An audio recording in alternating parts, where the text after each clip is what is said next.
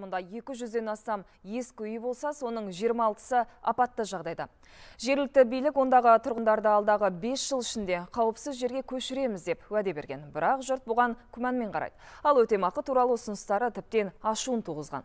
Тараптардың пікірін өңірдегі тілшіміз Ардақ Асылханұлы тыңдап келді.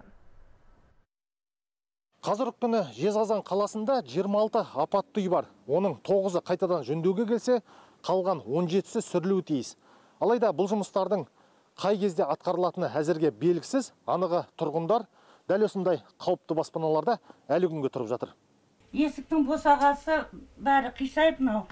Төмен қарай не қанған, есік дұрыс жабылмайды.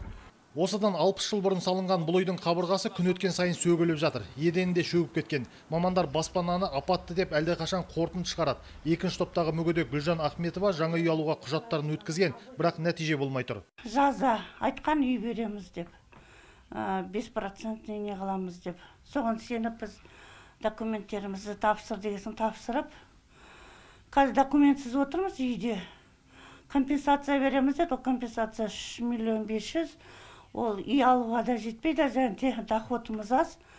Әкімдік мамандары өтемақының аз екенін мойындап отыр. Бірақ бұл нарықтағы баға. Апатты үйдегі пәтерлерді арнайы лицензиясы бар компания бағалаған. Әзірге тек елу баспананың қожайыны ғана өтемақы алуға келісім беріпті.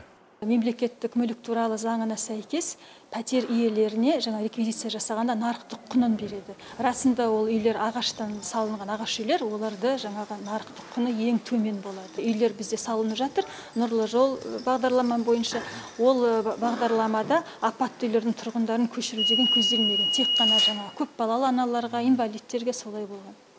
Біз қазір сол себептен жаңағы компенсация береміз Қазір 90 мыңнан астам тұрғыны бар Жезқазған қаласында 600 көп қабатты үй болса, соның жартысына жуығы ескі, әбден тозған. Ондағы жұртты қауіпсіз жерге көшіру үшін жергілікті билік биыл 5 жылдық бағдарлама қабылдапты. Бұл үйлер бойынша бізде арнайы бағдарламалар бар. Сол бағдарлама бойынша біз 5 жылдық көлемінде барлық апаттық үйлер болсын, ескі үйлер болсын, солардың барлығында ауыстырамыз деген нақты жоспарымыз бар. Бұл жерде жилстройсбанк механизмін қолдану арқылы шешеміз. Сонымен қатар әлеуметтік жағдайлары мүлде төмен азаматтарға спонсор болсын инвестор болсын солардың көмектері арқылы шешетін боламыз. Жезқазған әкімінің айтуынша апатты үйлердің орнына салынатын жаңа баспана құрылысы келесі жылы басталады. Ал әзірге тұрғындарға қауіпті үйде тұрудан басқа амал жоқ. Ардақ асылханұлы василий савкин аслан демесбаев қарағанды облысы хабар.